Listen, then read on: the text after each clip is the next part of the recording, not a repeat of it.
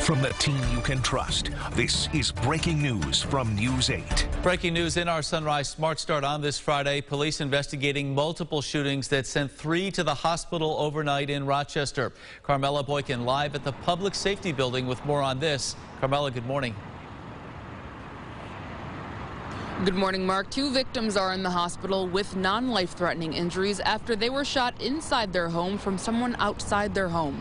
Police responded to the scene at 10:13 p.m. last night on Derringer Place. A 40-year-old man and 30-year-old woman were both shot at least one time. They were both taken to Strong Memorial Hospital, where again they're currently being treated for non-life-threatening injuries. This is, of course, an ongoing investigation, and police ask anyone with additional information to dial 911.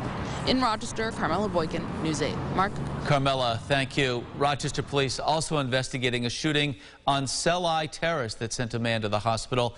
They responded to that area near Driving Park Avenue just after midnight. We're told a man in his 30s was shot in the upper body and taken to the hospital with non-life-threatening injuries. If you have any information about these shootings, again, please call 911. Police investigating a stabbing as well. Officers responded to Magee Avenue in the city around 11 o'clock. They found a 39-year-old man with a stab wound to the upper body. They say this happened on Electric Avenue.